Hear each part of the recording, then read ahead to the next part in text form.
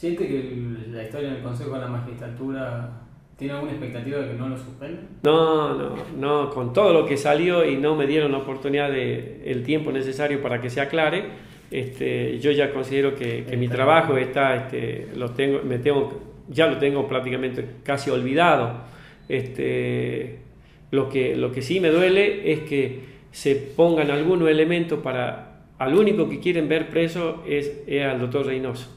Aún sin prueba, lo quieren ver preso porque claro, sería quizás este, quedar como conducta prístina, este, acendrada, pura de acá que, y que eh, la corrupción estaba en Orán.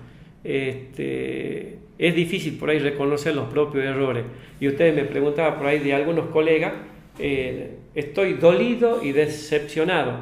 Este, ¿Por qué? Porque eh, los conozco y me conocen, aunque sea superficialmente, por las reuniones, porque íbamos a rendir, pero la gente de Orán, eh, yo salgo tranquilamente, como aquí en Salta, yo llegué con, con mi hijo caminando, eh, tengo tranquilidad de- en mi conducta, en mi conciencia, y después que, que me atribuyan todo, que se va demostrando que es falso. Pero bueno, espero que en Buenos Aires este, la Cámara de Casación vea todo este, y, y le ¿Cuántos dé la... para un un hipotético juicio? ¿Sabes? ¿Cómo? ¿Cuántos días quedan? Porque, No, yo sé que ya estamos en periodo de prueba y que este, está próximo para que fijen la fecha de inicio del juicio. ¿no?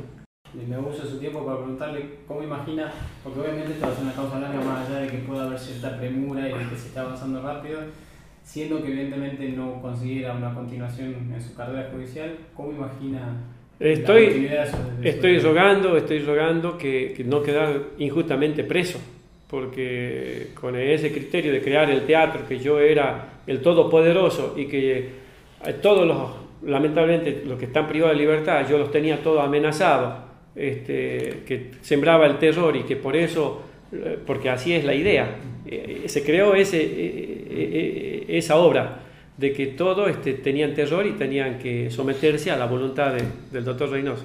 Entonces, como que si no existiera un fiscal, que no existieran defensores, yo era eh, el culpable de todos los males. Ah, Doctor, le agradezco mucho. No, a usted, por favor, la oportunidad para aclarar algunas cosas. Muy amable. Bien.